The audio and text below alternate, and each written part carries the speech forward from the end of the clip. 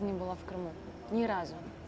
Но очень многие наши россияне, они обеспокоены тем, что вроде как бы Крым, сейчас это будет, э, сейчас это уже Россия, но многие переживают, что дешевле будет слетать за границу, побывать где-то, посмотреть, чем отдыхать у себя э, в пределах своей, своей страны и не получить каких-то таких эмоций. Не знаю, мне кажется, э, наше правительство должно сильно постараться, чтобы чтобы и, и финансово это было доступно, и в то же время, чтобы это было достойно, поехать туда и отдохнуть в свои края.